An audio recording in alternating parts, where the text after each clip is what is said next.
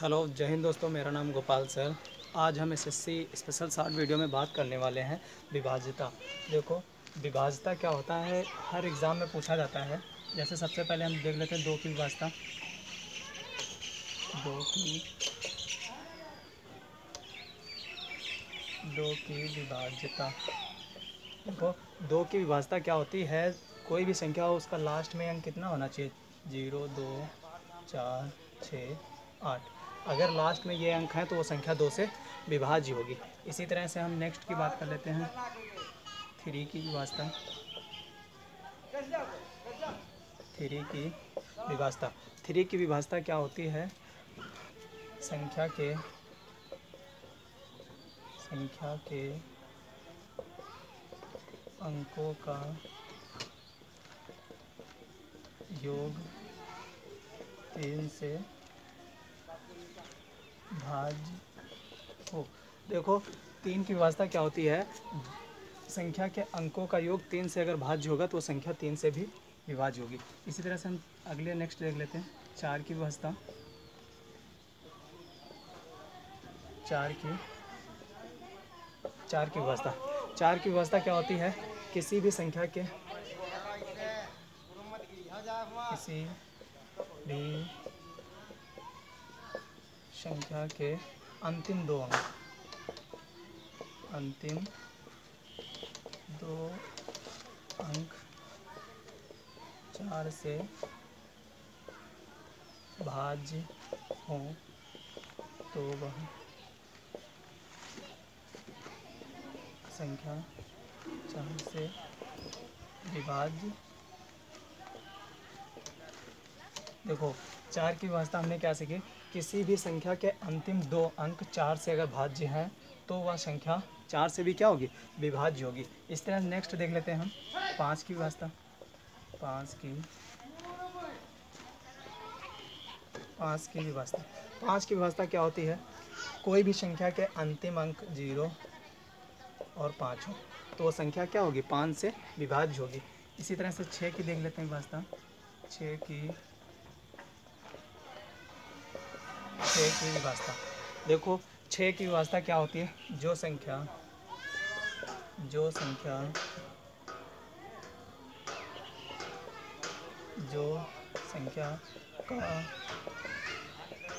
अंतिम अंतिम अंक सम हो और अंकों का योग अंकों का अंकों का योग तीन से भाज्य हो। देखो, यहाँ पर हमने छः की व्यवस्था क्या सीखी? जो संख्या का अंतिम अंक सम हो, यानी ज़ीरो, दो, चार छः जो भी हो, और अंकों का योग तीन से भाज्य हो तो संख्या छः से भाज्य होगी।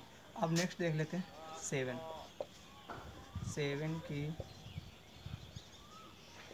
विभाज्यता देखो, शेवन की व्यवस्था क्या होती है? बहुत इंपॉर्टेंट इसमें दो स्टेप हम बताएँगे तुम्हें। सबसे पहला पहला स्टेप है कि किसी भी संख्या, कोई भी कोई भी संख्या तीन बार तीन बार समान दो अंक आए। देखो, यहाँ पर हमने क्या बताया, सात की व्यवस्था में, यानी कोई भी संख्या तीन बार समान दो अंक आए। यानी समान दो, जैसे एग्जांपल हम ले लेते हैं सबसे पहला। एग्जांपल जैसे ले लेते हैं, जैसे मान लिया six two six two six two ये सात से विभाज्य है। इसी तरह से हम ले लें eight three sorry eight three और एट थ्री ये सात से क्या होगी? विभाज्य होगी। ठीक है, देख लेंगे काट के। अब दूसरा स्टेप इसी का देख लेते हैं। दूसरा स्टेप ये होता है, मान लिया कि कोई भी संख्या है, उसके अंक को किसी भी किसी भी संख्या का, किसी भी संख्या का अंतिम अंक अंतिम अंक। दोगुना करके शेष संख्या से शेष संख्या से घटा दे। देखो एग्ज़ाम्पल यहाँ पर देखो दूसरा स्टेप क्या है? सात की व्यवस्था में देखो, ज़्यादातर सात की व्यवस्था में लोग फंसते हैं। किसी भी संख्या का अंतिम अंक दोगुना करके संख्या से घटा दें। तो वो संख्या क्या होगी? सात से विभाज्य होगी। जैसे हम सबसे पहले एक, फॉर एग्ज़ाम्पल है फोर्टी एट। Forty eight. अब इसको देखो, अंतिम अंक कितना है? आठ है। आठ को इसको दुगना कर दो कितना हो जाएगा? सोलह। तो चौंतीस माइनस सोलह। घटाएँगे कितना आ जाएगा? आठ और एक अठारह। तो क्या है? सात से विभाज्य? नहीं। तो ये संख्या सात से भी क्या होगी? भाज्य नहीं होगी। इसलिए दूसरा एग्ज़ाम्पल ले लेते हैं हम। जैसे तीन सौ तीन सौ तैंतालीस। तीन सौ तैंतालीस है। अब इसमें लास्ट अंक को हम क्या कर देंगे? दुगना कर देंगे। तो यानी चौंतीस, दुगना करें तो छः छः घटा देंगे, कितना आ जाएगा? अट्ठाईस। तो अट्ठाईस देखो, सात से अगर विभाज्य है तो ये पूरी संख्या क्या होगी? सात से भाज्य होगी। इसी तरह से हम नेक्स्ट आगे की बात कर लेते हैं।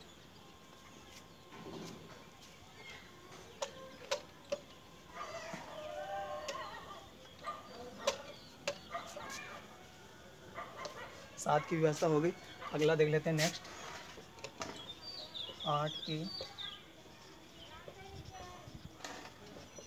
आठ की व्यवस्था। आठ की व्यवस्था क्या होती है? किसी अंक को सॉरी किसी किसी संख्या के अंतिम अंक,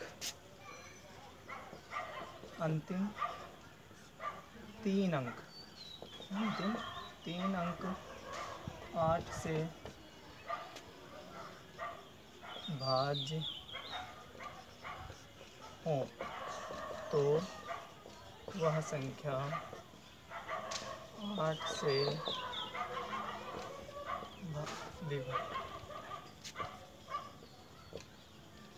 विभाज्य होगी। तो देखो, यहाँ पर हमने आठ की व्यवस्था क्या बताई?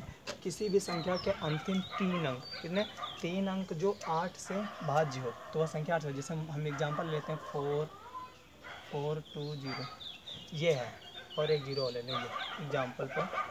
तो देखो, इसको अगर काटेंगे, आठ पंच चालीस या आठ पंच चालीस, दो बच जाएगा, आठ दूनी सोलह, आठ पंच चालीस। पूरी कट जाएगी आठ से तो ये हो जाएगा। इसी तरह से नौ की व्यवस्था देखो क्या होती है। नौ की नौ की व्यवस्था नौ की व्यवस्था देखो क्या होती है।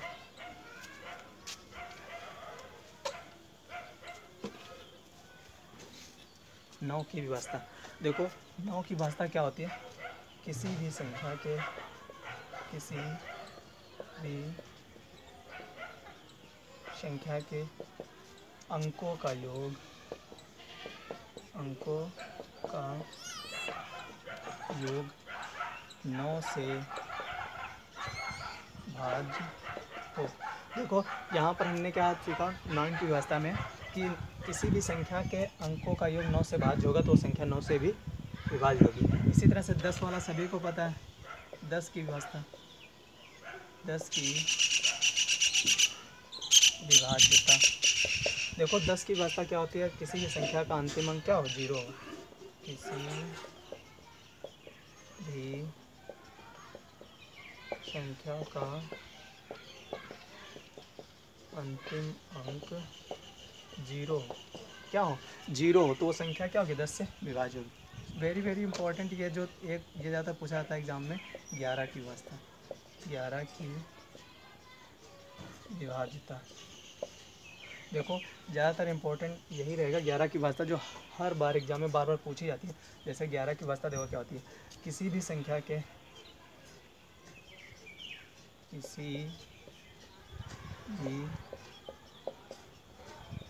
संख्या के विषम पदों का योग, किसी भी संख्या के विषम पदों का योग और सम पदों के योग का अंतर का अंतर ज़ीरो ज़ीरो या गेरा आए। तो वो संख्या क्या होगी? ग्यारह से विभाज्य होगी। यहाँ पर सबसे पहले ये देख लेते हैं, जैसे बोला है, किसी भी संख्या के विषम पदों का योग और सम पदों के योग का अंतर ज़ीरो या ग्यारह है तो वो संख्या क्या होगी? जो ग्यारह से भाज्य होगी। जैसे हम एग्ज़ाम्पल ले लेते हैं। सबसे पहला एग्ज़ाम्पल हम सबसे पहले विभाज्य संख्या ले लेते हैं तेरह इकतीस। तो देखो, इसके सम पदों का योग करो। तो यानी देखो, ये ये देखो, ये एक और तीन विषम पदों का कर लो। तो सबसे पहले विषम पद इसमें देखो कौन कौन से हैं? विषम पद एक प्लस तीन, एक प्लस तीन, ठीक है?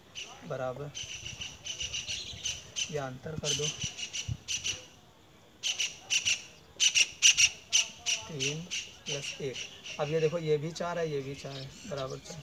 अगर इनको घटाएँगे तो ज़ीरो आ जाएगा। तो वो संख्या क्या होगी? ग्यारह से भाज होगी। इसी तरह से अगली संख्या ले लेते हैं हम, जैसे एक, one, two, eight, six, seven, four. अब बताओ, ये संख्या अगर पूछा है ग्यारह से भाज्य है कि नहीं तो सबसे पहले आप विषम पदों का कर लो। छः, एक, सात। सात, चार, ग्यारह। तो इस विषम पदों का अंक हो गया, कितना हो गया? ग्यारह। बराबर छः, दो, आठ आठ, चार, बारह। तो विषम पदों का कितना? बारह। इनका अंतर एक कार है, यानी ये ग्यारह से संख्या भाज्य नहीं है। तो बताइए दोस्त, आज की क्लास कैसी लगी? अगर पसंद आई हो तो लाइक करें, शेयर करें। अगर चैनल पर पहली बार आएँ तो चैनल को सब्सक्राइब ज़रूर कर लें। मिलेंगे नेक्स्ट वीडियो में। जय हिंद।